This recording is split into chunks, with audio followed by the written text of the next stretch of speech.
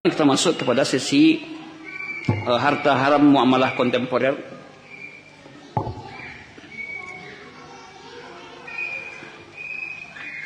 Kitab ini kalau tidak dibaca-baca maka dia tidak terbaca, tidak ya tidak tidak terbahas nanti.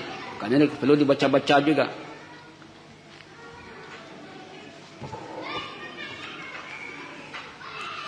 Kita sudah membahas dalam muamalah kontemporer ini.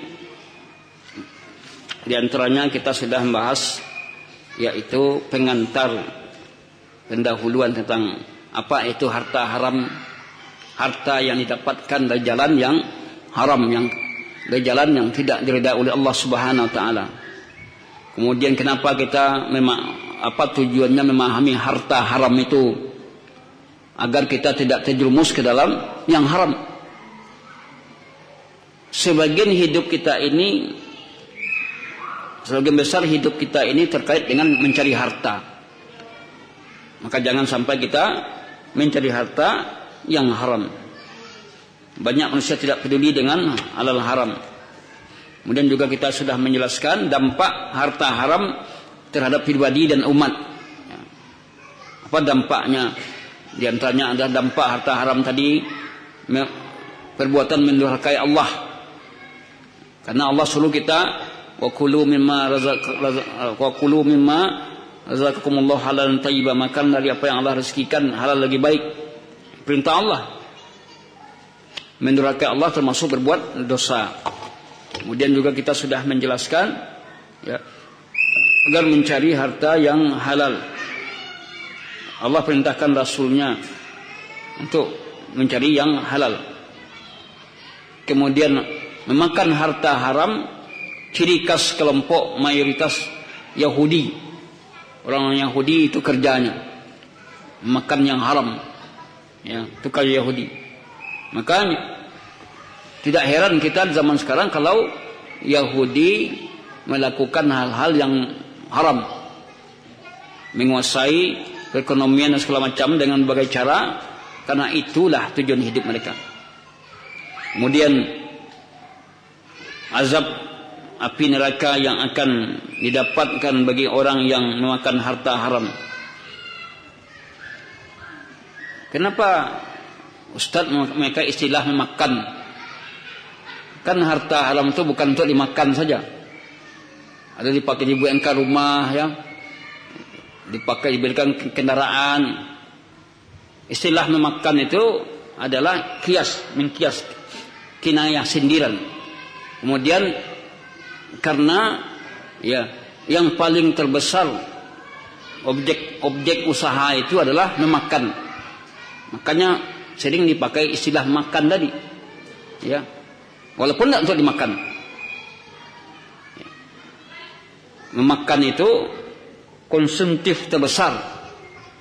Maka dipakai istilah memakan. Kemudian doa tidak dikabulkan. Kalau kita makan harta yang haram menipu orang ya berbuat bohong curang ya, jelas. Ketika kita berdoa enggak dikabulkan oleh Allah. Innallaha tayyibun la yaqbalu illa tayyiba. Allah itu baik tidak akan menerima kecuali yang baik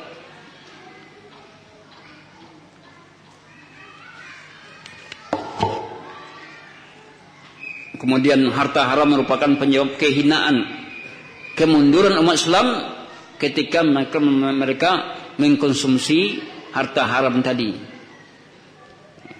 Riba umpamanya sekarang ini yang menyebabkan kita perekonomian kita mundur adalah karena riba.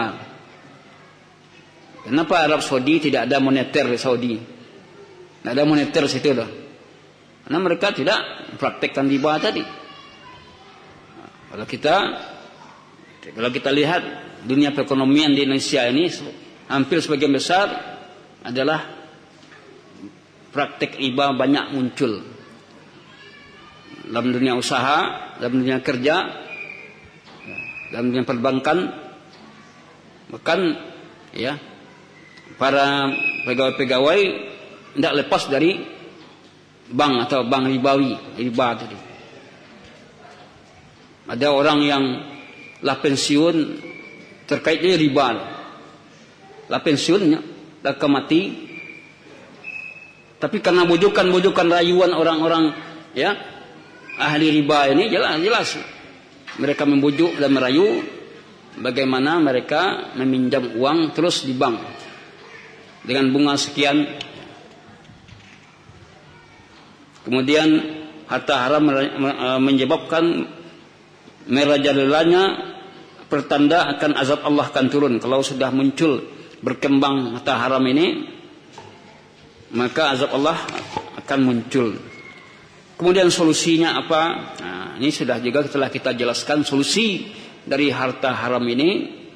Untuk menghindari ini maka di zaman sahabat dulu zaman Umar bin Khattab mereka Umar bin Khattab radhiyallahu anhu, anhu dan para sahabatnya mereka mencek mengadakan pemeriksaan ke pasar-pasar terhadap pedagang-pedagang yang pan, yang tahu dengan fikih muamalah.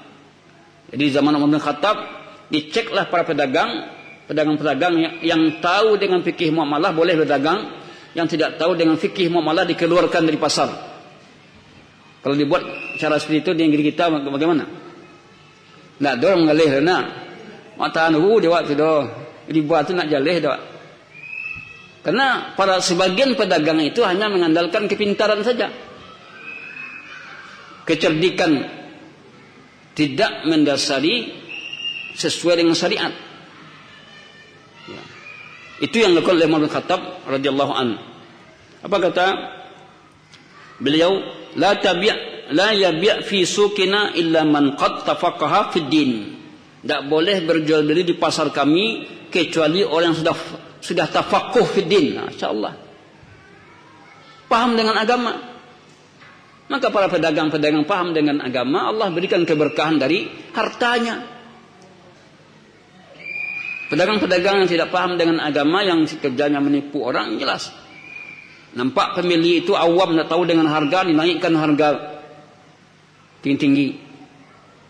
Nampak dia arok dia barang tadi berharap membeli barang tadi ya.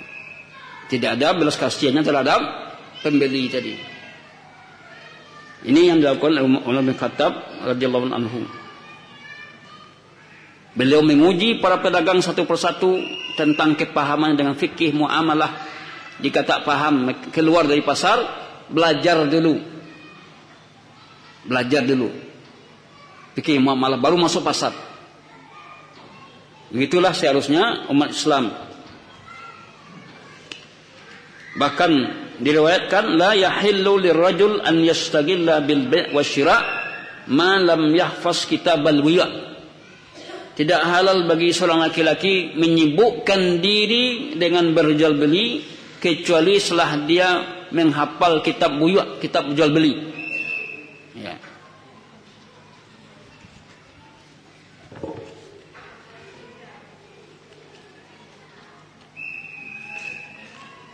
Kemudian kita juga sudah menjelaskan harta haram hasil kezaliman. Zalim adalah dari bahasa Arab zulmun. Menempatkan suatu bukan pada tempatnya. Dalam bahasa Arab dalam bahasa Indonesia diterjemahkan dengan zalim. Zulmun zalim. Dalam bahasa Indonesia zalim. Dalam bahasa Arab zulmun istilah zalim ini berarti mengerjakan larangan serta meninggalkan perintah Allah. Ini dia zalim. Orang yang mengerjakan larangan dan meninggalkan perintah Allah ya ini zalim. Maka setiap perbuatan yang melampaui ketentuan syariat setiap perbuatan yang melampaui ketentuan syariat dianggap zalim. Baik itu menambah mengurangi dianggap zalim nah zalim dalam bermuamalah ini banyak banyak terjadi Kezaliman itu sudah jelas diharamkan oleh Allah. Dalam hadis kursi dinyatakan, "Inni haramtu zulma ala nafsi, faja'altuhu muharraman bainakum." Aku wahai ambaku aku haramkan kezaliman atas diriku kata Allah wa ja'altuhu muharraman bainakum. Aku jadikan kezaliman itu haram terjadi sesama kalian. Fala tazalamu. Jangan berbuat zalim. Bahkan tidak boleh berbuat zalim walaupun itu kepada musuh sendiri. Orang kita nak suka dengan dia lalu kita zalim dengan dia. Tidak boleh. Wala yajrimannakum shana'an shana'anu qaumin ala alla ta'dilu ya'dilu huwa aqrabu littaqwa Jangan kebencian kamu kepada satu kaum membuat kamu tidak berlaku adil. Ya adilu berlaku adillah huwa aqrabu littaqwa. Bahawa berlaku adil itu lebih dekat kepada takwa. Nabi Muhammad merupakan contoh seorang yang sangat adil. Kemudian juga diriwayatkan Sini dalam dikatakan Dr. Khalid As-Sayyak berkisah ada seorang uh, ustaz berkisah yaitu seorang Syiah yang sangat benci dengan kelompok Sunni berubah menjadi penganut Sunni di mana di saat dia menyaksikan keadilan Islam ya di mana Syekh ditanya bagaimana Syekh bin Bas ditanya bagaimana hukumnya saya sebagai pejabat menghadapi dua orang yang mengikuti tes masuk ke pegawaian. Supaya masuk ke pegawaian umum ini cepatnya pegawai umum ya. Yang satu berasal dari kelompok non sunni atau syiah. Kemudian nilainya lebih bagus dari kelompok yang sunni. Apakah saya boleh mendahulukan yang sunni? Ini. Jadi syekh ditanya ada dua orang yang tes. Yang satu adalah syiah ya. Yang satu sunni. Rupanya yang si ah ini tinggi nilainya masuk pegawai.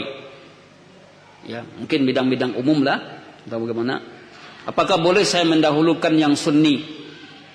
Apa apa kata syekh? Tidak boleh engkau lakukan. Allah berfirman wala yajrimannakum syana'anu qaumin ala alla ta'dilu. Ya'dilu huwa aqrabu littaqwa.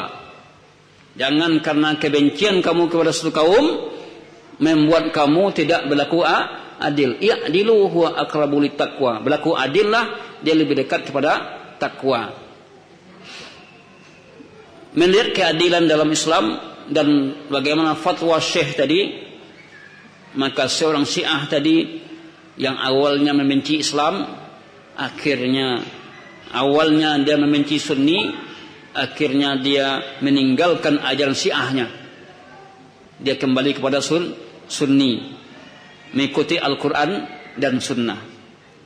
Ini tentu dalam hal pekerjaan mu'amah pekerjaan-pekerjaan umum ya. Bukan guru pesantren. Guru pesantren tentu ya. Tapi pekerjaan umum seperti proyek-proyek atau bagaimana ya pekerjaan-pekerjaan umum mungkin. Pekerjaan-pekerjaan sifat dunia. Ada yang mendaftar dua orang tapi yang satu ini nilainya tinggi sedangkan yang sunni nilainya rendah maka tentu yang berhak didahulukan. Ini keadilan dalam is Islam. Keadilan dalam Islam. Oleh karena itu, muamalah ini merupakan lahan lahan subur untuk orang-orang lemah imannya. Banyak melakukan kezaliman dalam bermuamalah dan makan harta yang orang lain dengan cara yang batil. Oleh karena itulah perlu mengetahui kezaliman-kezaliman dalam bermuamalah. Kemudian kezaliman-kezaliman dalam bermuamalah ada kezaliman terhadap hak Allah. Nah, ada kezaliman itu berhubungan dengan hak Allah, hak Allah. Di antara harta haram adalah harta yang bercampur dengan hak Allah yang tidak dibayarkan. Seperti zakat yang tidak ditunaikan. Jadi orang kalau dia sudah berhak bayar zakat, sudah sampai senisab haul, lalu dia tidak membayarkan zakatnya, maka dianggap dia zalim. Dia menahan hak Allah. Tindakan ini sebuah kezaliman terhadap hak Allah. Harta tersebut terhitung harta haram. Jadi kalau dia tidak menaikkan zakatnya, padahal dia sudah layak nisab sudah, haul sudah, tidak ditunaikan zakatnya, maka dia telah makan harta ha, harta haram sudah dimakannya. Tercampurlah yang halal dengan yang haram tadi.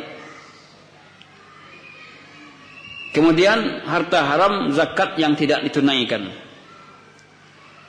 Allah Subhanahu wa taala menciptakan seluruh makhluk dan juga telah menjamin rezeki mereka. Wa ma min dabbatin fil ar illa 'ala Allahi rizquha. Tidak ada makhluk melata di muka bumi ini melainkan Allah sudah jamin rezekinya. Ya. Sebagian orang ada yang memperoleh rezeki dari jasa. Ya, ada orang yang memperoleh rezeki dari harga barang. Ini pedagang. Ada orang yang mendapatkan rezeki dari keuntungan harga pedagang ada orang yang mendapatkan rezeki bukan dari jasa, bukan dari harga barang, tetapi mendapatkan rezeki karena statusnya sebagai fakir, miskin. Rezeki juga baginya. Di zakat yang akan dibayarkan itu, itu adalah hak orang-orang fakir dan miskin atau mustahik. Haknya tidak ditunaikan, berarti kita sudah makan hak mereka. Makanya Allah katakan dalam surah Al-Ma'arij walladzina fi amwalihim haqqun ma'lum. Orang-orang yang dalam harta mereka itu ada hak yang sudah ditentukan. Lisaili wal nahrum untuk peminta-minta dan orang yang tidak minta-minta. Jadi orang miskin itu ada dua. Ada miskin yang minta ada yang tidak minta Mau tidak mau dia minta dia jaga dirinya dari dari minta-minta tadi. Ada orang yang menjadikan minta-minta sekarang sebagai profesi. Ini sudah saya sudah sampaikan. Tetangga saya dulu tinggal tinggal di punya rumah kos. Punya rumah kos, ruko. Akhirnya ketemulah dia di perempatan lampu merah. Astagfirullah kau karajonya kiranya. Ikhwah kita kos di situ. Kawan wak kos di situ, di kos di rumahnya. Ditemukan itu karajonya. Cacatnya diandalkan untuk minta-minta tadi. Nah, ini sebenarnya tidak boleh lagi lah kayunya itu. Ya. Tapi karena sudah kecanduan minta-minta tadi, ya memang repot. Kalau mental sudah lah mental awak lah kan naik, ya sudah terasa enaknya minta-minta tadi itu kerja minta-minta aja. Malas bekerja. Cacat diandalkan. Nah, untuk minta-minta tadi. Meminta-minta itu dibolehkan dalam keadaan darurat. Memang tidak ada usaha sama sekali. Badan sakit apa, sudah cacat segala macamnya. Kemudian tidak ada yang memberi tidak ada yang membantu dianggap fakir. Kalau tidak mati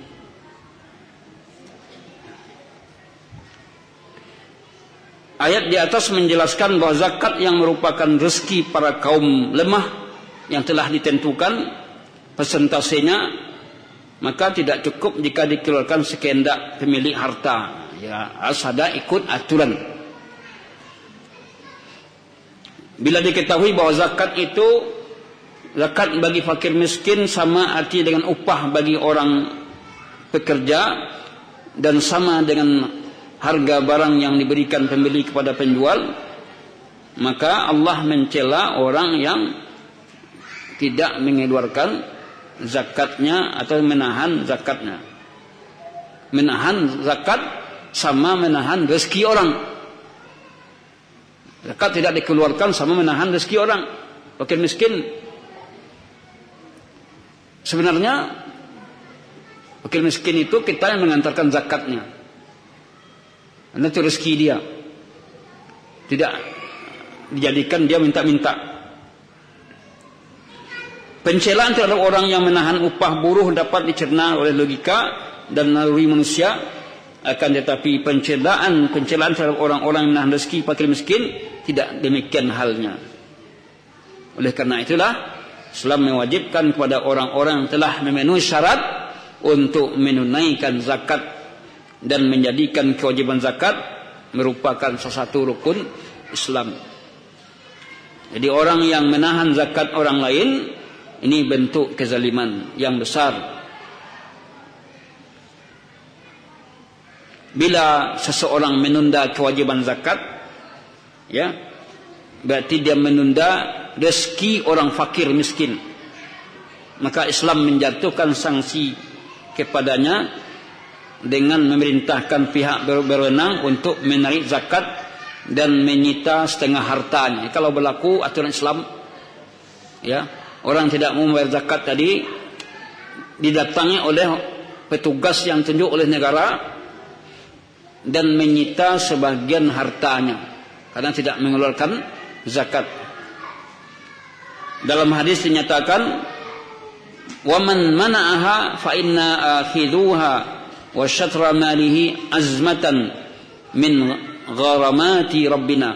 Siapa yang enggan menunaikan zakat ya yang enggan menunaikan zakat maka akan kami tarik zakatnya dan menyita setengah hartanya.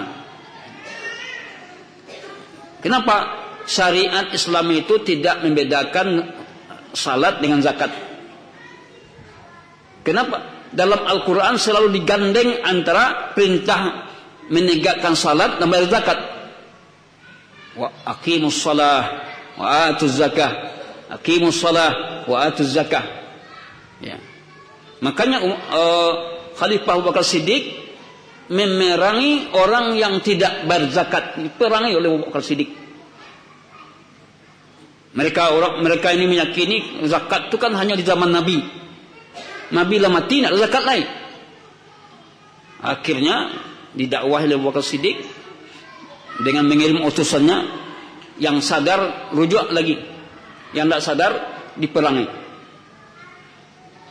Ini kalau berlaku syariat Islam yang utuh tentu demikian adanya. Sebab kalau jumlah orang yang enggan menaikkan zakat itu banyak, jumlah besar, tentu mereka akan membentuk kekuatan. Akhirnya apa? Darah pun boleh ditumpahkan dengan cara memintahkan memerangi mereka. Ini yang dilakukan oleh Abu Bakar Siddiq. Karena kelompok yang enggan berzakat tadi banyak mereka telah membuat kekuatan. Terpaksa Abu Bakar Siddiq memerangi orang-orang yang enggan bayar berzakat tadi. Karena mereka telah menumpuk harta haram. Ya. Hak-hak fakir miskin yang selesai mereka terima ya ditahan. Inilah bentuk kezaliman tadi. Dalam hadis dinyatakan man adda zakata malihi faqad dhahaba anhu syarruh siapa yang telah menunaikan zakatnya niscaya hilang kotoran darinya.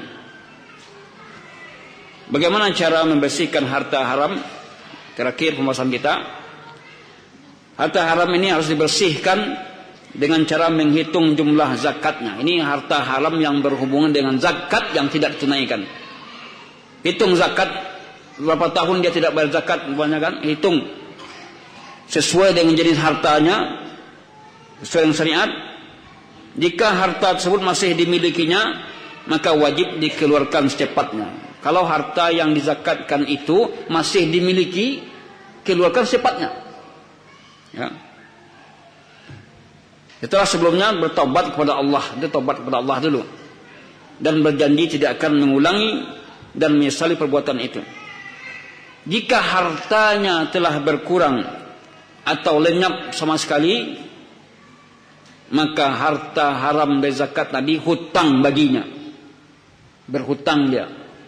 Jadi andai kata seorang muslim baru dia sadar dulu dia sekian tahun harta cukup untuk zakat tapi tidak dia bayarkan. Dia mendapatkan pengajian tentang wajibnya menunaikan zakat. Bagaimana caranya untuk membersihkan hartanya? Jika hartanya masih ada, keluarkan hitung zakat-zakatnya dahulu lalu jumlahkan keluarkan. Jika hartanya tidak ada lagi atau lenyap maka ini berarti tanggungan berhutang tidak bebas lah. Ya? Nanti suatu saat ketika dia ada punya rezeki maka dia bayar zakat zakat terdahulu tadi. Jika dia telah rezeki. Jika dia meninggal dan belum membersihkan hartanya, bagaimana kalau dia meninggal? Hartanya belum dibersihkan.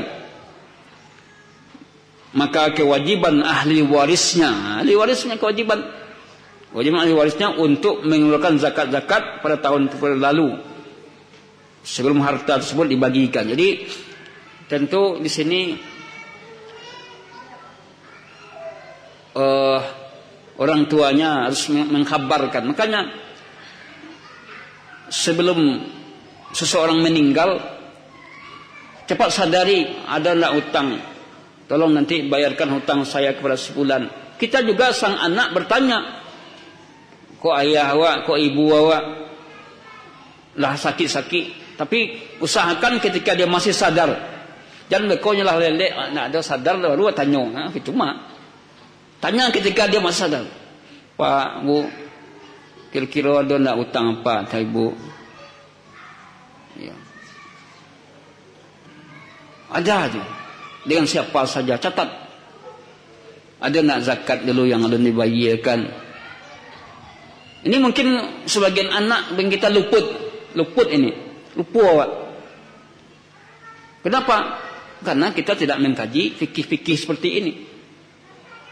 Kalau kawan perlu, dia berwasiat juga. Ini dilakukan ketika masih sadar, masih tahu jorang. Kalau tahu jorang, balik. Ini yang ini yang kadang-kadang kita lo kita luput kita menyangka bahwa dia masih dia umurnya panjang lupanya enggak. Kita pun juga demikian. Kita sampaikan kepada anak, awak lah merasa sakit wala parah, aku tolong nanti begini-begini amanahkan.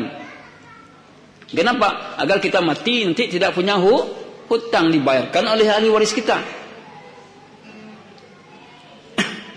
Jadi jika dia meninggal dan belum membersihkan hartanya dari harta haram, maka ahli warisnya menjadi tanggung jawabnya untuk mengeluarkan zakat-zakat pada tahun-tahun yang berlalu. Tapi kalau tidak ahli waris tidak diketahui dari dari yang meninggal utang-utangnya, maka kita umumkan kepada orang lain dengan membawa bukti. Bapak Ibu sekalian, kepada orang yang kita kenal, kalau ada orang tua kita saya punya hutang, ya, tolong datangi saya dengan membawa bukti. Oh nanti misalnya jadi orang mengaku orang gaya hutang, ya kan? Itu ada bukti. Namun tentu juga dilihat kalau orang itu memang jujur, wah, eh, sebagai masyarakat kita ada di, karena perasaan jadi bau, bau hutang kok tidak ada bau tulis lah. Ah, tu ala ditulis nak usah ditulis tulis hutang tadi kan awak semua awak kan? Ha, banyak kita banyak kita seperti itu karena perasaan. Kemu awak badun sana baca tangga hutang sejuta dua juta nak batuli akhirnya lu lupa. Ini soalannya Ya Bapak Ibu sekalian nak mengapa? Kita amalkan. Ya ayyuhallazina amanu idza tadayantum bidainin ila ajalin musamma faktubuh Hai orang beriman, jika kamu bertransaksi dalam batas yang sudah ditentukan, tulislah. Maka tulis menulis ini merupakan syariat kita. Kenapa ada muncul surat nikah? Ayat ini merupakan satu bentuk aplikasi dari tulis menulis tadi. Kalau tidak ada surat nikah, orang akan mengakunya bujang segala macamnya. Itulah adanya surat ni, surat nikah tadi. Walaupun nikah itu tidak pakai surat tetap sah.